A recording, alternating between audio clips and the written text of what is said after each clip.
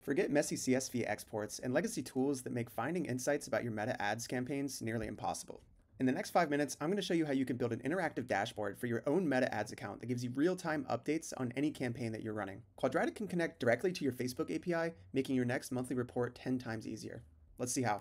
All right, let's get started here. So you really only need two things to get started with the marketing API from Meta, and that is your ad account address, as well as your access token. Now, the ad account number uh, is just going to be found in your campaign management dashboard here on the top by your name when you're looking at your, your campaign view. So super easy to grab that, copy it, and save it somewhere safe uh, for use with the API later on in Quadratic. Now the second thing is a bit more confusing, um, but I'm going to walk you through it very quickly. The first thing you need to do is create a Meta developer account.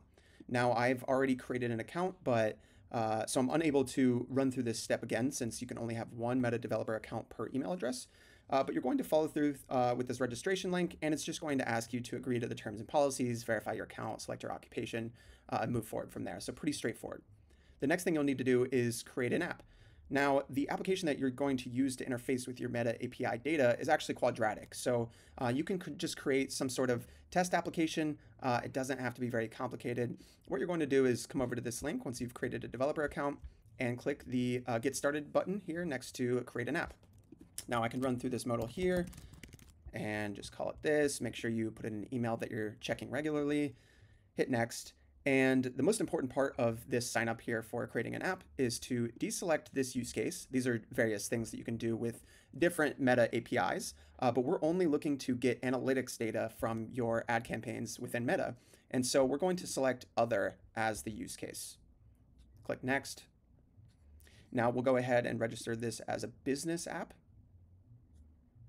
and select your business portfolio if uh, that's where your ads data lives. Um, I was unable to connect our quadratic ads data to our business portfolio. So right now our ads are being run under my Facebook account. Uh, this may be different for you. Go ahead and create the app, type in your password. And once you fill in your password, you're going to be taken to the app dashboard here. The only thing we need to do in this dashboard is click on app review in the left sidebar, permissions and features. And we're going to give the proper permission to our application so that we can access the API.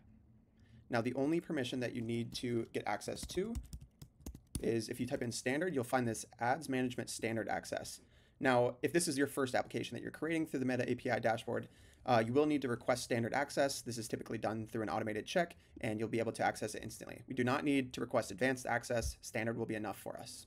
Once you've completed that, then you can head over to the developer tools section of uh, the developer console here in Meta Ads and click on the Graph API Explorer.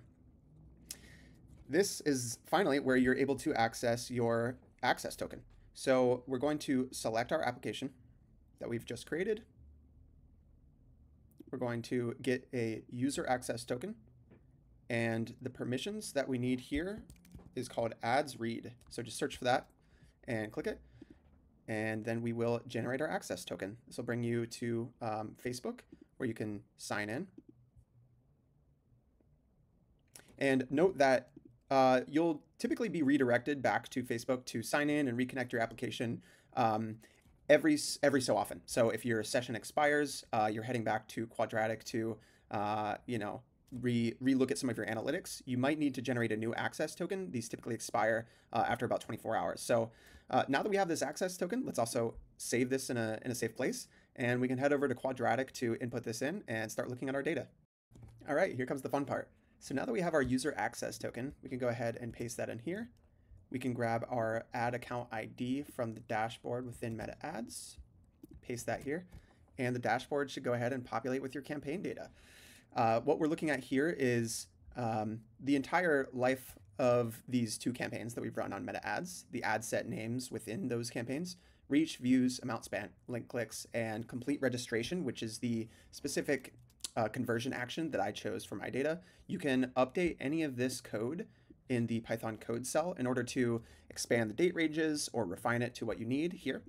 Uh, you can update the actual uh, metrics that you want to track um, in the uh, in the code here, or you could just ask the AI to do it for you, which is uh, what I did myself, as I'm not much of a developer, but was able to set up this entire API within Quadratic uh, without any Python or other coding knowledge, which is pretty incredible. Uh, this tool makes me feel very powerful. Uh, and, and once your data is populated into this Python table directly from the API, these uh, Python charts are going to update um, to show you some interesting analytics about that campaign data. We can look at the daily reach over time in a line chart. We can look at the weekly link clicks over time. We can look at the weekly ad spend and hovering over these values will show you everything uh, that you might be interested in within the chart. We can look at how many views from these campaigns are actually turning into link clicks and turning into registrations. So seeing that uh, those the funnel of, of traffic into your app or or whatever your goal is can be really helpful for marketers to uh, help to refine that funnel and see where any bottlenecks are. Uh, you can also see your ROI with this table here. And this template is fully uh, fully functional, interactive. Uh, you know, you can zoom into specific metrics. You can update the code for, for any of these charts or create new charts depending on what you're looking to identify about the, your ad campaigns that you've run in meta ads and um, really just make it yours. So I hope that you found some, some value in this video and you can take your advertising campaign performance metrics and dump them into, into Quadratic in a more automated way to um, take a, a, deeper look into your, into your metrics beyond what those native ad platforms are providing in their dashboards. Uh, this could be really helpful for uh, users that are at ad agencies that want to compare the performance of their uh, various different multi-channel marketing campaigns. Um, or if you just are running on meta ads and you want to get some quick insights without having to go into their clunky platform, uh, this is this is the place to do it. So let me know what you think in the in the comments, and uh, hope you enjoyed this. Thanks.